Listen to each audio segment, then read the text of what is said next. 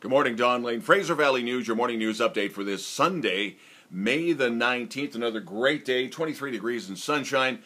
Looks like tomorrow, heading home from long weekend, you're looking at 15, 16 degrees and showers.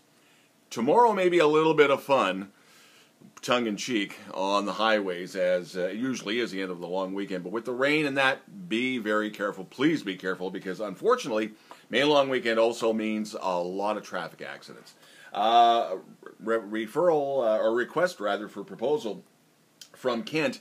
Uh, they are looking for ideas for evacuation routes in case of an emergency. They're looking for contractors to piece this together for the District of Kent for Agassiz as well as out to Harrison. So you might want to check out the information. It's rather an interesting read on FVN Fraser Valley News. Uh, Chill TV, in case you missed it, the news of the week.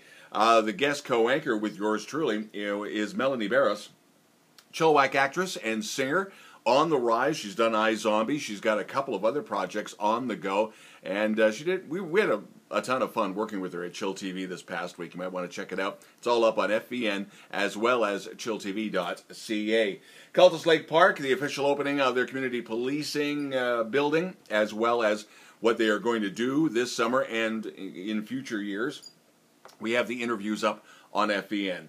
It is definitely CFL time. Training camps are underway. The mini camp for the Lions was the last couple of days. They have made a few cuts, nothing major, but the bulk of the training camp, the major major training camp, starts today uh, as we speak uh, in Kamloops up at Hillside Stadium. If there's something we should know about, let us know. FVN at shaw.ca. And if you're interested in doing advertising with either Fraser Valley News or Chill TV, again, FVN at shaw.ca. Enjoy the sunshine. Plant some gardens. Don Lehn, Fraser Valley News.